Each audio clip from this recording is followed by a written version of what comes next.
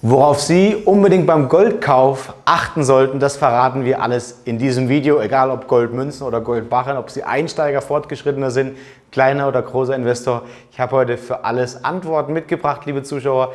Wir berichten heute über die häufigsten Fehler bzw die Dinge, auf die Sie unbedingt achten sollten, wenn Sie jetzt in den Edelmetallmarkt einsteigen. Die neue Edelmetallwelle oder der Aufschwung der Preise in den letzten Wochen hat ja viele neue Anleger in den Markt bewegt. Und wir möchten auch Ihnen dabei behilflich sein, wie wir schon die letzten Jahre auf unserem YouTube-Kanal waren. Ähm, ja, die teuersten Fehler zu vermeiden bzw. die besten Tipps zu nutzen. Beginnen wir doch gleich mal, liebe Zuschauer. Ich habe hier vor mir zwei wunderbare Münzen aufgebaut. Zum einen haben wir den Krügerrand und zum anderen den Maple Leaf. Wer ganz neu in den Markt einsteigt, dem sagt das gar nichts. Der ist vielleicht, vielleicht auch erstmal Barren fixiert. Und da wären wir auch schon bei der ersten Frage. Münzen oder Barren, was eignet sich für mich am besten? Es gab früher mal den Grundsatz, dass Barren günstiger waren als Münzen, weil die Prägekosten bei Barren geringer waren als bei Münzen. Das ist heute nicht mehr der Fall. Münzen und Barren, das macht sich etwa die Waage. Es werden mittlerweile deutlich mehr Münzen als Barren verkauft. Das liegt einzig und allein daran, dass halt Münzen eine, ein oder eine bessere Anerkennung, wenn man es beispielsweise auf unser Geldsystem bzw. Auf, unser, auf unsere Portemonnaies äh, umwälzt und sich mal anschaut, dass wir mit dem Kleingeld mehr vertraut sind als mit Barren, dann hat das sowas Instinktives, warum die Menschen den Münzen vielleicht ein Stück weit mehr als den Barren vertrauen. Eine Münze ist aufwendiger in der Prägung, eine Münze hat meistens mehr Fälschungssicherheit, das heißt, eine Münze ist entsprechend ähm, teurer in der Produktion im ersten Blick. Wenn man aber mehr davon produziert, kommt man ungefähr auf die gleiche gleiche Fixkostendegression wie bei einem Bachen, was für Sie als Einsteiger bedeutet, dass eine Münze auf jeden Fall die erste Wahl ist. Die Frage ist nur Maple Leaf, Krügerrand, Känguru Nugget, Wiener Philharmonika, Gold, Vreneli und was es auch alles Tolles an diesem Markt gibt. Was ist für Sie erstmal die richtige Wahl? Wenn wir jetzt mal auf die Münzen schauen, dann haben wir ganz klar hier die Nummer 1, den Gold Krügerrand, die meistverkaufte Goldmünze der Welt. Sie sehen es, den gibt es als eine Unze, als Viertelunze, als halbe Unze und als Zehntelunze. Es gibt auch einige Sondergrößen, die in den letzten Jahren erschienen sind, gerade zum 50. Geburtstag. Ja, Sie hören richtig, die Münze gibt es schon seit 50 Jahren erstmals 1967 geprägt. Aber hier haben wir auch eine wunderbare Münze, die dieses Jahr ihre 40-jähriges Jubiläum feiert, und zwar der Gold Maple Leaf. Den gibt es sogar noch in einer Größe mehr, nämlich in der Unze, in der halben, in der Viertel, in der Zehntel in der Zwanzigstel Unze. Das Schöne ist beim Maple Leaf, hier reden wir von einer klassischen Feingoldmünze. Das heißt, wenn wir von, von, von einer Feingoldmünze mit 999er Feingehalt sprechen, bedeutet das für Sie, es sind von 1000 Teilchen mindestens 999 Teilchen Feingold. Beim Krügerrand ist es anders, davon sind 91,6% Feingold und der Rest ist Kupfer. Also auch hier haben wir einen weiteren Unterschied herauskristallisiert. Es gibt eben verschiedene Feingehalte und es gibt verschiedene Größen. Aber worauf muss ich jetzt achten, wenn ich einsteige? Was ist für mich das Richtige? Bei der Münze an sich, wenn man eine kleinere Münze kauft, muss man einfach wissen, ist, dass, dass die Prägekosten für kleinere Münzen deutlich höher als bei größeren Münzen sind. Also eine Zehntelunze kostet im Verhältnis mehr als eine ganze Unze. Man bekommt aber bei einer Zehntelunze das, was man mehr bezahlt, im Wiederverkauf verhältnismäßig ebenfalls auch wieder raus. Und genauso ist es bei Barren, ob Sie einen Kilogramm Barren kaufen oder 1000 1 Gramm Barren. Sie zahlen verhältnismäßig mehr Prägekosten bei den 1 Gramm Stücken, bekommen aber im Wiederverkauf natürlich auch mehr bezahlt für diese vielen 1 Gramm Stücke. Wichtig ist einfach im Hinterkopf zu behalten, was möchte ich machen? Möchte ich eventuell schnell wieder verkaufen? Wenn die Preise weiter so rasant steigen, wie es momentan der Fall ist, könnte es durchaus der Fall sein, dass es sinnvoll ist, kleine Stücke zu besitzen, auch zum Tausch oder so, um sie schnell wieder liquide zu machen. Denn wenn ein Goldbarren vielleicht irgendwann mal 100.000 oder sogar 200.000 Euro kostet, also so ein Kilogramm Goldbarren, der momentan etwas über 50.000 Euro kostet, dann wird es vermutlich schwer, einen Abnehmer zu finden, der ihn schnell, vor allem im Privatkundensegment, diesen Barren wieder abkauft. Welche Tipps sollte man noch beachten? Wir haben jetzt behandelt, ob es Münzen oder Barren sein sollen. Das liegt natürlich so ein bisschen bei Ihnen. Wenn Sie mehr Sicherheitsmerkmale und vielleicht auch mehr Wertsteigerungspotenzial haben möchten, dann gehe ich eher zu Münzen. Wenn es Ihnen darum geht, möglichst günstig einzukaufen und sehr homogen, jedes Jahr das gleiche Produkt, ohne dass sich die Optik ändert, ohne dass ein neuer Jahrgang draufsteht, dann gehe ich eher auf Barren. Es gibt so einen schönen Twitter bei den Barren, die nennen sich Kombi-Barren, die werden wir hier auch mal einblenden. Ganz tolle Idee. Das sind vorperforierte Barren, wo man immer ein 1 Gramm Stückchen abbrechen kann. Die gibt es auch in 100 mal 0,5 Gramm oder in kleineren Stücken wie beispielsweise der 5, 10 oder 20 Gramm Variante. Also hier ist für jeden was dabei. Das bedeutet, Barren haben auch die Möglichkeit, als Krisenschutz zu dienen, sind aber eben nicht gesetzlich anerkannte Zahlungsmittel. Und da sind wir schon beim nächsten Unterschied. Eine Münze ist eben gesetzlich anerkannt als Zahlungsmittel, was bedeutet, dass Sie in dem Fall die Möglichkeit damit hätten zu bezahlen, dass auch Bargeld in dem Sinne so, es ist Geld letzten Endes, dass es vom Staat herausgegeben wird, das so nicht verboten werden kann. Und ähm, was wir noch behandelt haben, sind die Größen. Ja? Ich sage immer, für einen Einsteiger macht es erstmal Sinn, kleinere Stücke aufzubauen, etwa ein Drittel des Portfolios oder vielleicht sogar 50 Prozent, je nachdem, ob man mehr ähm, auf eine Krise sich vorbereitet oder auf die Altersvorsorge. Und dann kommt man zum nächsten Schritt, in welcher Qualität man die Münzen kaufen soll.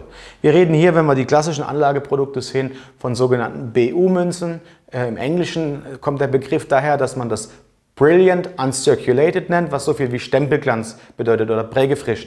Prägefrische Stempelglanzmünzen sind einfach Münzen in einer Standardprägung, in, einem einfachen Prägeverfahren, das sehr günstig ist, das sich für jeden Anleger eignet, wer neu in den Markt investieren möchte. Wenn jemand sagt, ich möchte ein bisschen was Exklusiveres, oft auch mit einer Limitierung verbunden, dann nimmt man eher eine polierte Platte. Eine polierte Platte ist die bestmögliche Prägequalität. Und wer dann noch einen oben draufsetzen möchte, der kauft sich dann gegradete Münzen. Das sind Münzen, die entsprechend ähm, von verschiedenen Institutionen bewertet werden nach der Qualität. Hier haben wir auch schon mal ein Video drüber gemacht. Das werden wir hier an der Stelle einblenden, liebe Zuschauer. Wieder zurück zur Qualität. Als Einsteiger immer darauf achten, Stempelglanz ist die typische oder BU, wie im Englischen beschrieben, ist die typische Prägequalität, die Sie dann als Einsteiger wählen sollten. Also wir haben jetzt die Prägequalität, wir haben die Stückelung, wir haben die Frage, ob Münzen oder Bachen. Die Frage ist, wo kaufe ich denn meine Münzen? Gehe ich jetzt zu irgendeiner Sparkasse, gehe ich zur nächsten Volksbank, gehe ich zum nächsten Goldhändler, gehe ich ins Internet, wo kaufe ich mein Gold? Ganz wichtig ist für mich persönlich, und deswegen stehen wir heute auch mit Gesicht und unserem Namen da, dass ich eine vertrauenswürdige Anlaufstelle habe, zu der ich gehen kann, wenn es Probleme gibt. Es passiert jedem, das, da nehmen wir uns nicht außen vor, dass eine Münze eventuell mal eine kleine Schramme hat, auch wenn wir eine Qualitätskontrolle haben, die mittlerweile ein Vier-Augen-Prinzip darstellt. Aber es kann trotzdem einfach mal was sein. Und dann ist es wichtig, dass wenn entsprechende Reklamation da ist, dass Sie einen Ansprechpartner finden, der das Problem schnell behebt. Und da heben wir ganz stark die Hand, weil wir sagen, unsere, Expertise ist einfach der Service. Wenn es mit dem Kunden in irgendwelchen Anliegen ähm, spezieller wird, dann sollte man einen Händler haben, der auch ans Telefon geht, der einen berät. Wir haben viele tolle Kundenberater mittlerweile am Telefon, die sich die Zeit für Sie nehmen und mit Ihnen dann entsprechend individuellen Beratungskonzept aufbauen. Das kostet auch nichts, können Sie sich mal kostenfrei beraten lassen und an der Stelle dann auch miteinander telefonisch den Kauf abschließen. Ähm, also um Ihre oder um diesen Punkt vielleicht für Sie ein bisschen einfacher zu machen, achten Sie auf vertrauenswürdige Quellen, die, die dementsprechend viele Bewertungen haben, die es vielleicht schon ein paar Jahre gibt. Wir feiern dieses Jahr unser zehnjähriges Firmenjubiläum. Wir haben hier in Villingen-Schwenningen unser Headquarter, wo die Mitarbeiter auch in der Filiale oder in der ehemaligen Schalterfiliale sitzen. Heute unser Handelszentrum, unser europäisches Handelszentrum für die Edelmetalle, für den Onlinehandel. Da haben wir uns etwas stärker fokussiert.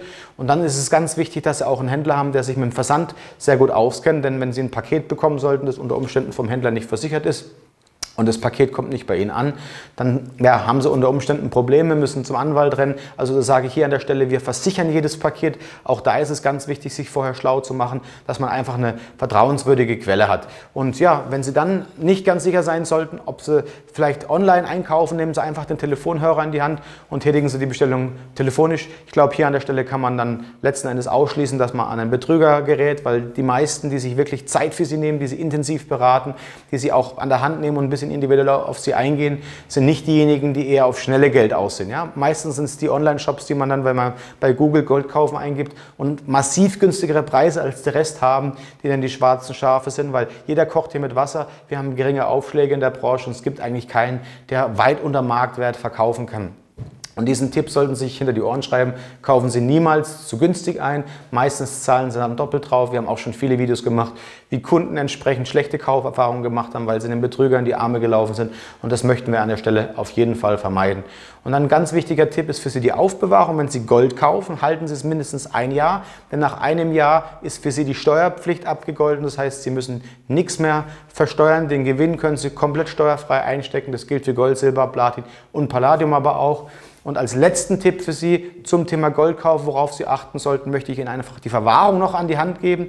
Der erste wichtige Tipp ist, kaufen Sie sich die passenden Münzkapseln oder Münztaschen dazu. Die werden bei uns im Online-Shop schon immer dazu empfohlen. Wenn Sie da Fragen haben sollten, einfach auf Münzzuhör klicken, dann können Sie nach Millimeter sortiert die passenden Produkte dazu bestellen. Ein paar Münzhandschuhe empfehle ich jedem, der neu einsteigt, wenn er seine Münzen auch mal anschauen möchte, damit man sie nicht mit bloßen Fingern anfasst und direkt Flecken drauf hinterlässt, die man dann unter Umständen schwer wegbekommt. Und dann ist natürlich die Frage, Tresor oder nicht. Ich bin ein riesiger Freund eines Tresors. Wenn Sie, wenn Sie eine eigene Immobilie haben sollten und eine Versicherung, die mit Ihrer Hausratversicherung sozusagen gekoppelt den Tresor versichert, ist das meines Erachtens der günstige und vor allem der sicherste Weg, wenn es mal zu einem ja, Eingriff des Staates ins Bankensystem kommt. Denn wenn Ihre Edelmetalle in irgendwelchen Schließfächern verwahrt sind, dann ist es natürlich ein einfaches vom Staat zu sagen, so, jetzt ist erstmal, jetzt unterliegt das Ganze uns und jetzt haben wir Zugriff auf die Tresore, auf die Schließfächer und schauen uns an, was da drin ist. Und außerdem kann man bei den Banken die Edelmetalle nicht unbegrenzt versichern. Also an der Stelle ganz wichtig für Sie, machen Sie sich vorher Gedanken, wo Sie das lagern.